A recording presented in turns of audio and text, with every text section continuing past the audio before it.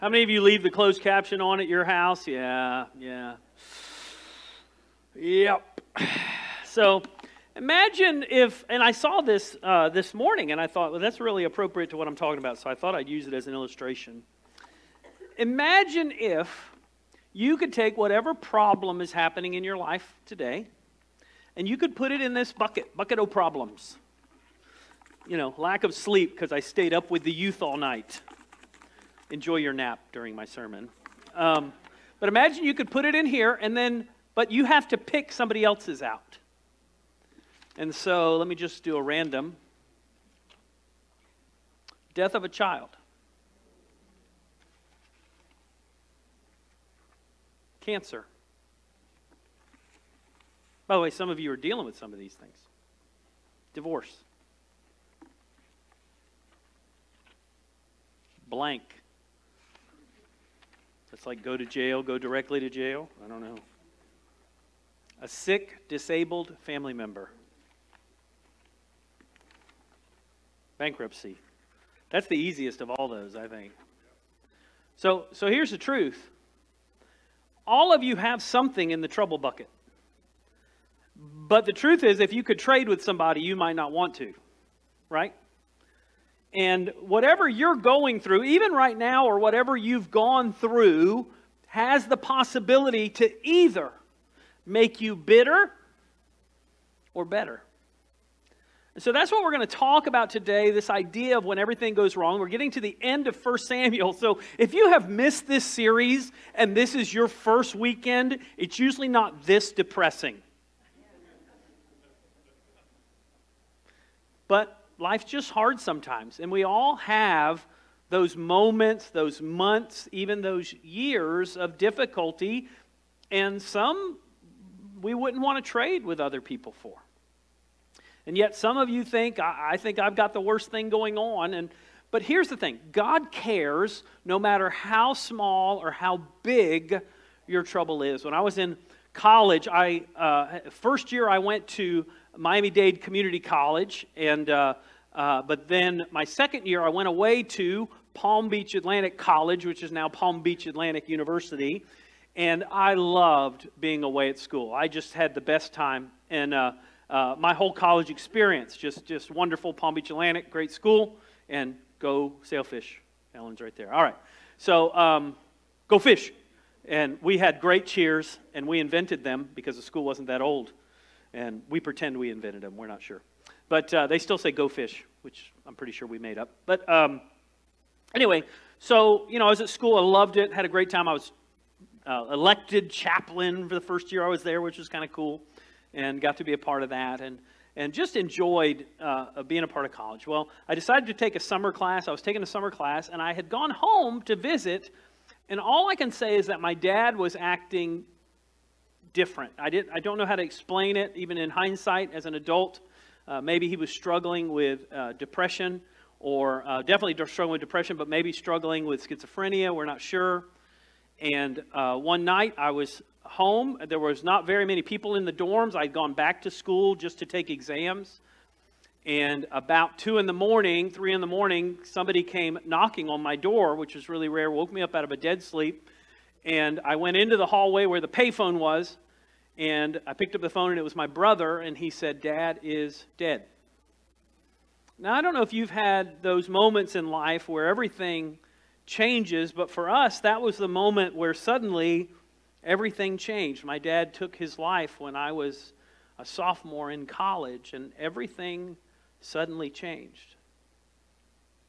And I had a choice whether I just stopped going forward and just stopped where I was at and didn't progress anymore, or decided to be bitter that life had handed me this difficulty, or I could say, God, what do you want me to do? And today, when we look at David and we look at the end of 1 Samuel, that's really what was going on with David. We, we look back understanding that David was told, You're going to be king.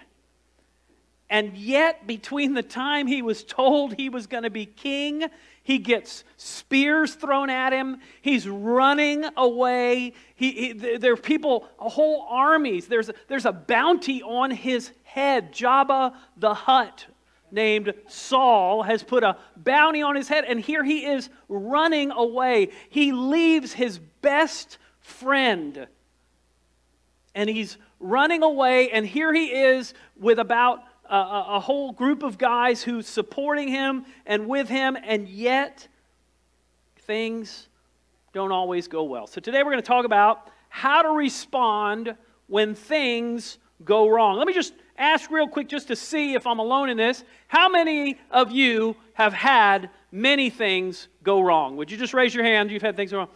How many of you, life is going exactly like you thought it would? Exactly like you. Where's Brian? He would raise his hand because he's a liar. Oh, there he is in the back. Thanks, Brian. All right. So, today we're going to talk about how to become better instead of bitter, regardless of what you're going through, regardless of what you're dealing with. And let me just tell you something. Just let me get ahead on this, okay? What's going to happen to David is not fair.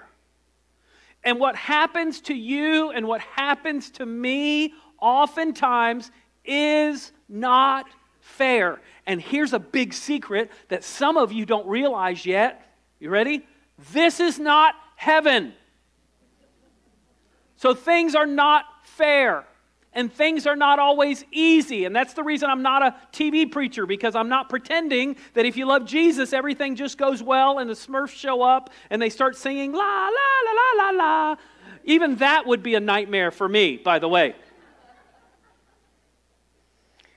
The very things that hurt you, God can use not only to help you, but to lead you to greater places and that you can be a blessing to others.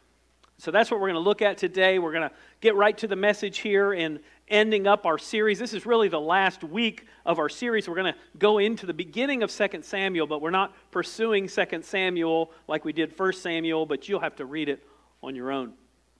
Number one, when the people you love suffer. You ever have somebody that you care about go through a hard time? Struggle, struggle with sickness, struggle with cancer, maybe hurting in some way. You see injustice. Maybe they're sick. Maybe they can't seem to get over it. Let's pick up the story here. 1 Samuel 30, 3 through 5. And I, I did a little different thing with the verses today. You'll get to see it, but um, hopefully it'll make sense when I'm done.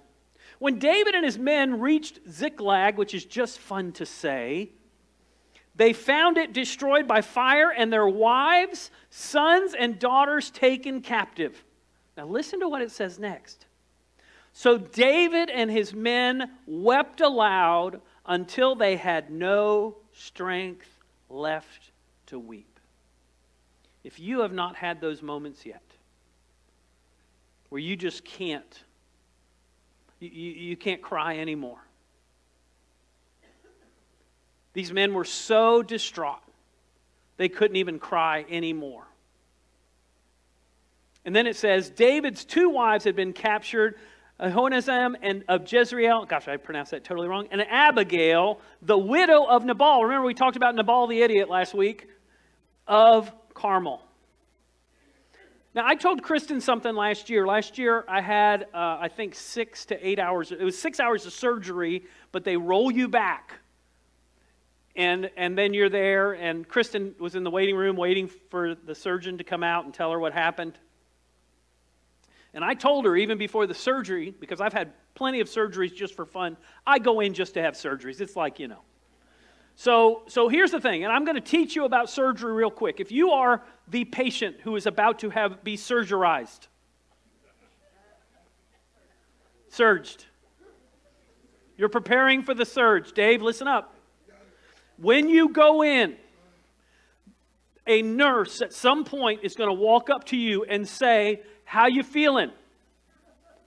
Or they might say, "Are you feeling nervous?" Your answer should be yes, every time.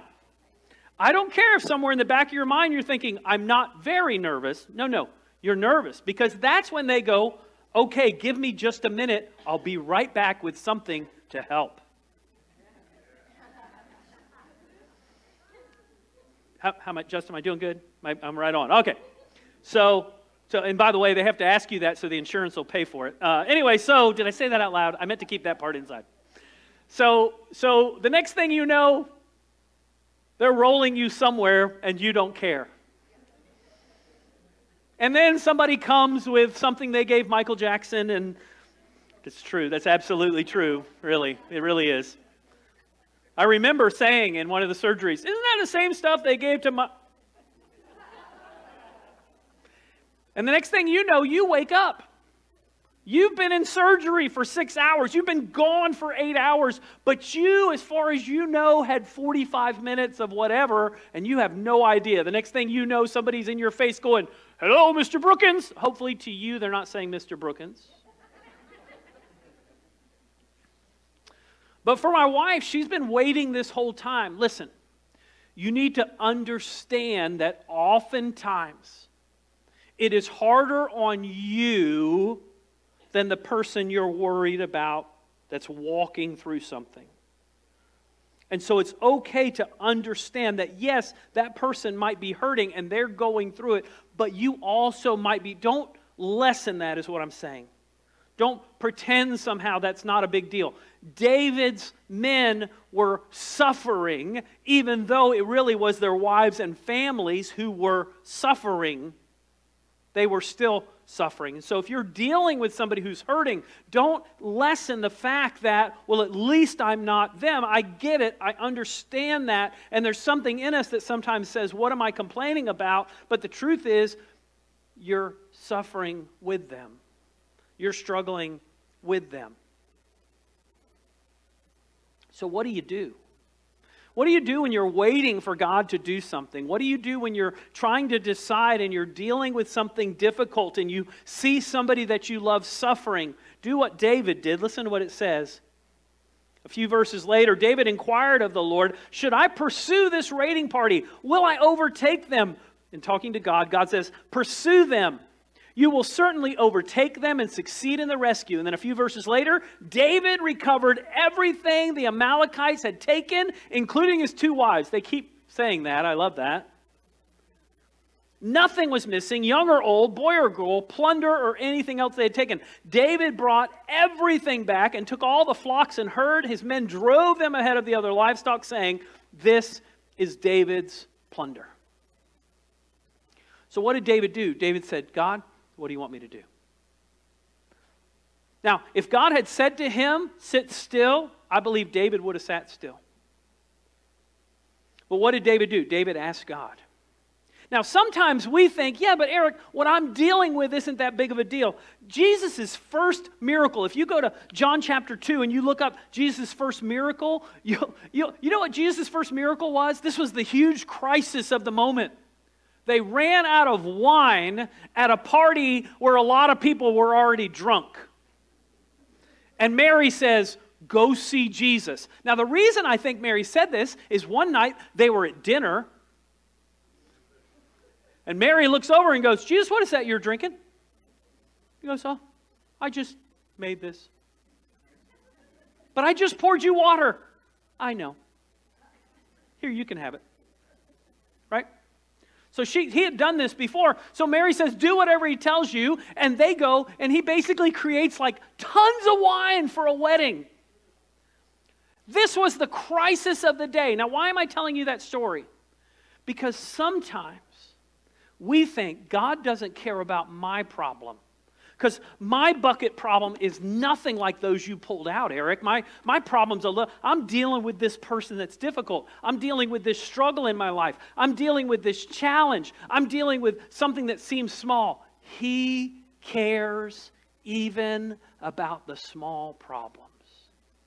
So don't hesitate going to God and saying, God, what do I do? God, would you show me what to do? And the Bible says that we can pray for wisdom, which is good. Your pastor has to do that a lot. Lord, give me wisdom.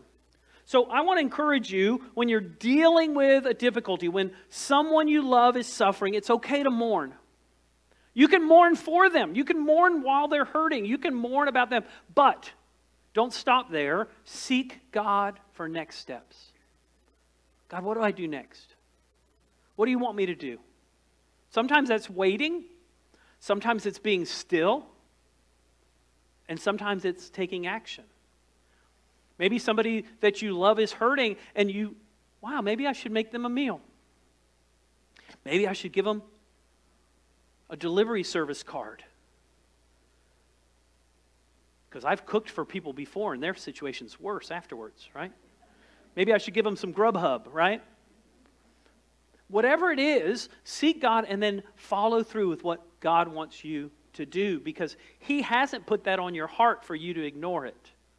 He's put those people on your heart for you to do something about it. It could just be that you're supposed to write them a note or send them a text. Somebody just this morning, just a few minutes ago, said, Did you know so and so got in an accident yesterday? I said, No. I've already sent that person a text and said, Hey, I heard you're banged up. I hope you're okay. I'm praying for you. Is there anything I can do? It took me four seconds. We need to let people know we care, that we're praying for them, that we're there. Number two, when friends turn on you. When I look at the story of Joseph, I realize that even people who do what's right have other people who they thought were their friends or their family turn on them. Now, sometimes people turn on us just because of us, right? There's times that we've done something wrong. We all know those situations. But the truth is, even if you did everything right, some of you are in fights with family members. Some of you had people that you called friends, and one day they turned on you and turned against you. But just like Joseph said to his brothers, what you meant for evil, God meant for good. One of the things I will tell you is that God will often use donkeys in your life to get you to where He wants you. Remember, Jesus sat on a donkey and went into town? Sometimes those friends of yours that you thought were the best people in the world, you find out they're donkeys. But if you pay attention, God may even use what somebody else meant for evil for good in your life. Now, don't look at your spouse. I saw that. You're my donkey. Okay, don't say that. That's not nice. 1 Samuel 30, verse 6. This is in between what happened. Listen to this. David was greatly distressed because the men were talking of stoning him. Each one was bitter in spirit because of his sons and daughters, but David found strength in the Lord his God. Think of all that David had done. David's running from Saul. David has protected these men. David has raised up basically a small army. He fought with many of these when he was working for the king.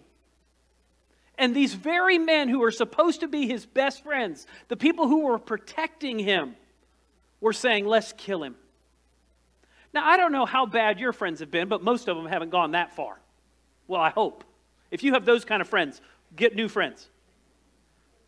But the truth is, here are the people that were closest to David, and they said, Let's kill him. If you're dealing or you've dealt with a situation in your life where people have turned on you, know that you're not alone. Jesus' own disciples turned on him. David's own men turned on him, and your friends will sometimes turn on you.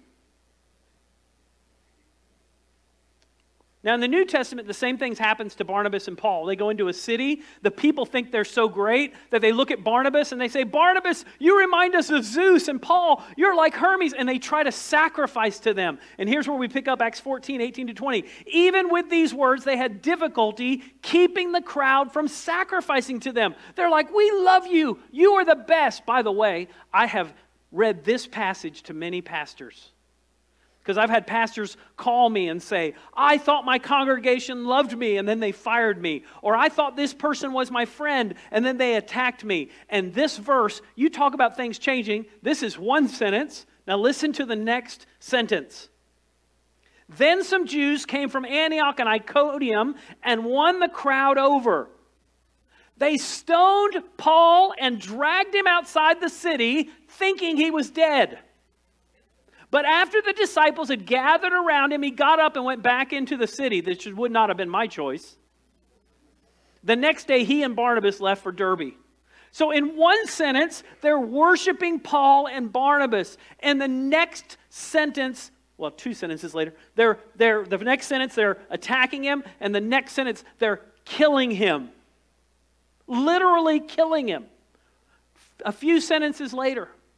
People are often surprised that the same crowd that at the beginning of the week said Hosanna to Jesus, by the end of the week said crucify him. A lot of commentaries have a hard time with that, but I don't. Because these are, you ready? People. And you and I need to understand sometimes that people change and things happen. And if you've been hurt by others, don't let it make you bitter. Let it make you better. You don't have to fully understand it. You don't have to be able to rationalize it. You don't have to sit and replay the video over and over again. Imagine Paul. Paul is what they think he's dead, dragged outside the city. The believers start to gather around him. I have a feeling the conversations were like this. Well, that Paul was a good guy, wasn't he? Oh, yeah, it was amazing how God used him. Yeah, wasn't it amazing? Then Paul just gets up and they're like, oh. And then Paul says, I'm going back into town. What? Paul was a little crazy. Now, I'm not saying you have to go back to those friends, but you need to keep going. That's what Paul and Barnabas did. They just kept going. Sometimes in life, all you can do is keep going when things go wrong. Listen to this find strength in the Lord and others. Those Christians gathered around Paul. Listen, sometimes when you feel half dead, the best thing you can do is get a few friends and say, Would you pray for me? Just send them a text. Pray for me. I'm having a hard day. Pray for me. I don't know anybody who would send you a nope. Eric, would you pray for me? Nope. Too busy. No.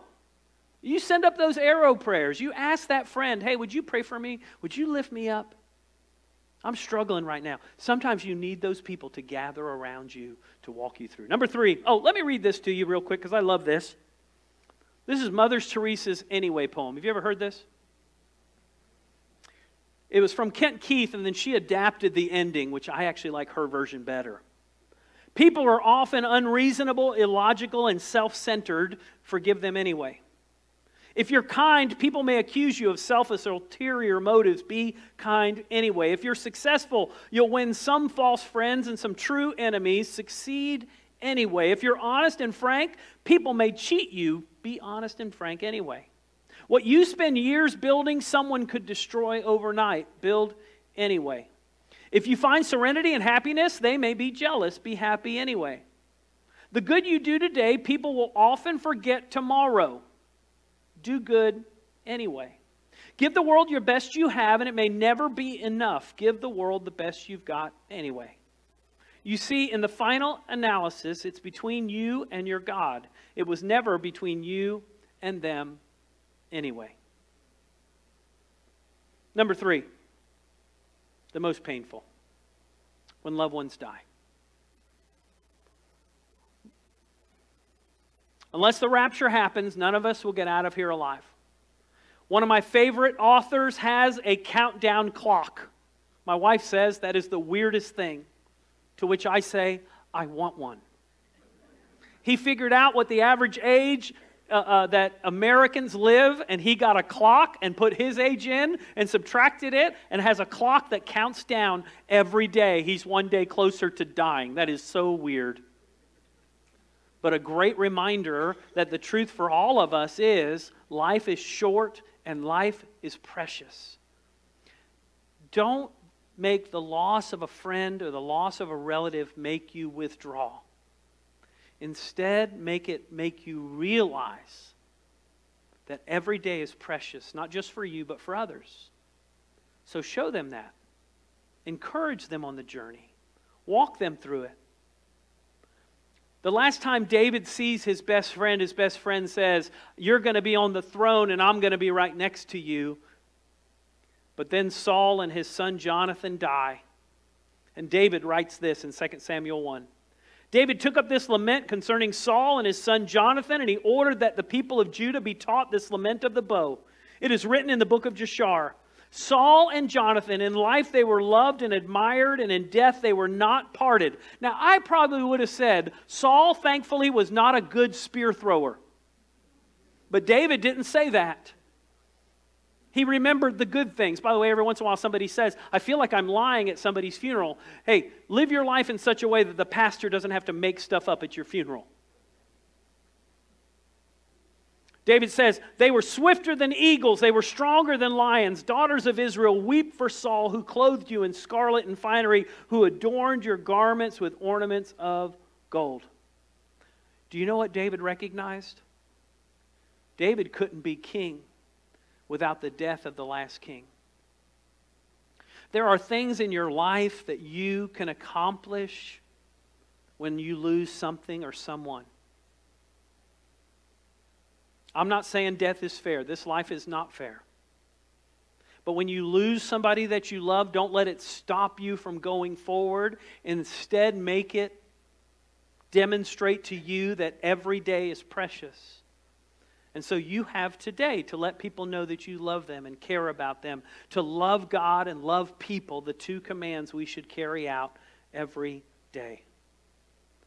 1 Thessalonians 4:13 says, Brothers and sisters, we do not want you to be uninformed about those who sleep in death, so that you do not grieve like the rest of mankind who have no hope. Listen, we have hope. When we lose somebody, yesterday I did a funeral for a 99 year old woman. Whether we live to 9 or 99, if we love Christ, if we surrender our lives to Him, the Bible says that we immediately close our eyes here and just like Jesus said to the thief on the cross, Today you'll be with me in paradise, we open our eyes in heaven. But in this world, we get discouraged, we get down. I want to encourage you the last thing grieve, but remember hope and remember the blessings you have. It's okay to grieve. It's okay to be sad. It's okay to be happy. It's okay to remember stories. It's okay to miss somebody. But don't let it stop you. Keep moving forward. In 1492, as Columbus came this way, he got stopped in the Sargasso Sea because the wind kept blowing. All that brown stuff on the beach, called sargassum now, eh, that's what was all around them. They thought that the sargassum was going to suck their ship down. And so the men said, Let's kill Columbus and head home. And Columbus said, uh, Let's start rowing.